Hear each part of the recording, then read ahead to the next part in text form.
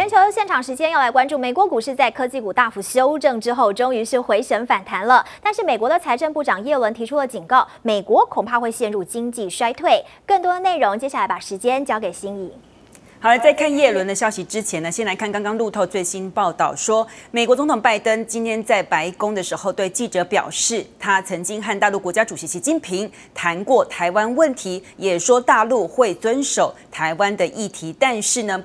目前白宫对于拜登的这些说法呢，说这是上一次的拜登和习近平的通话内容，并不是新的拜习通话。美国财政部长耶伦接受 CNBC 访问的时候，警告完全可以预期，美国如果爆发债务违约，会引发经济衰退。耶伦说，如果美国欠缺支付政府账单的资源，没有力气来支付政府账单，将会是一场灾难。而耶伦已经警告过了，说十月十八号之后，如果国会没有提高法定债务上限，那么美国将没有资金向债权人履行义务。而美国过去几十年以来，国会已经修改。举债上限几十次表决的时候，通常都是两党共同支持，而这一次国会议员对于是不是提高债务上限持续争论当中。共和党议员拒绝投票支持提高债务上限，甚至誓言要阻止民主党可以简单多数表决处理债务上限的动议。共和党参议员企图强迫民主党人采用预算协调。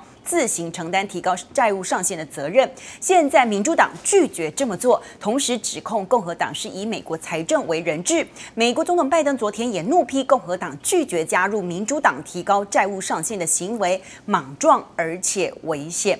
美国股市开盘终于回神了，美国大型科技股止跌回升，美股四大指数道琼、标普五百和纳斯达克开盘后都反弹超过百分之零点四。费半一度上扬百分之零点八，盘中涨幅扩大，道琼弹升四百五十点，标普五百上升。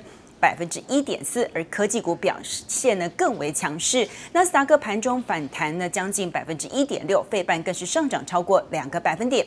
台积电、联电、ADR 早盘同步反弹百分之一和百分之二，盘中维持这个反弹的走势。而台积电上涨百分之一，联电上涨超过百分之二。美国科技股从大幅修正当中回神，网飞中场大涨百分之五点二。苹果和 Alphabet 收盘都是各涨百分之一点四和百分之一点七七。脸书在昨天全球大宕机重挫百分之五之后反弹了，收盘涨了超过百分之二。道琼呢几乎是收复了四天全部的跌幅。那么美国油价突破每桶七十九元，能源股也是再次的上涨。和经济复苏相关的类股，像是邮轮、航空、还有零售以及银行，也和大盘一起上涨。而八号即将公布美国就业报告，这个部分备受投资市场关注。脸书和旗下的 Instagram、WhatsApp、Messenger 这些服务大宕机将近六个小时之后恢复了，但是许多仰赖脸书服务的店家却哀嚎损失不少销售额。网络观察组织估计，脸书家族宕机一个小时会造成全球经济损失一点六亿美元，大约是四十五亿台币。那么一次宕了六个小时，估计造成超过十亿美元，大约就是两百七十九亿台。币的经济损失。纽约时报报道，很多商家的客户是必须要利用脸书或者是 Instagram 账号来登录的。那么，在失去四个小时或者是五个小时的销售收入之后，店家就有可能会付不出，连这个月的电费跟房租都没有办法负担。康奈尔大学的教授就指出。这一次脸书家族大宕机，凸显出全球对于这家公司的依赖程度。这个专家说，由于现在的经济是越来越仰赖数位工具，因此脸书大宕机也凸显当前数位经济结构上面的不稳定。而脸书全球大宕机，其实 Telegram。就宣布他们的好消息，它是加加密通讯应用程式。那么，它的创办人在 Telegram 的频道上面 po 文说，Telegram 在一天之内暴增的创纪录四七千万名的新用户，而这七千用户七千万名的新用户呢，他形容说是来自于其他平台的难民，还说在其他人让大家感到失望的时候。Telegram 就不会这么做。那么根据监测公司的数据呢，在美国免费应用城市下载量排行榜的排名，Telegram 也一举从第五十六名大幅跃升到了第五名。日本防卫省表示，日本海上自卫队出云级一号舰，也就是出云号护卫舰，实施美军最先进 F 三五 B 逆踪战机起降的测试作业成功了。日本海上自卫队也在 Twitter 上面公开。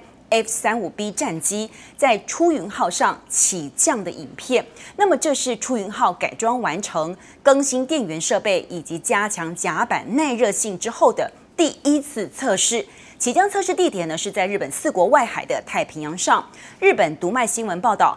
部署在山口县的美军沿国基地的美军 F 三五 B 呢，是可以垂直降落，但是降落在护卫舰的时候呢，护卫舰的甲板会散发出高温排气热。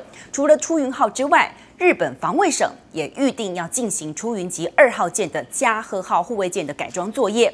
日本航空自卫队也计划在二零二三年度之前引进 F 三五 B 来提升他们海上的防空作战能力。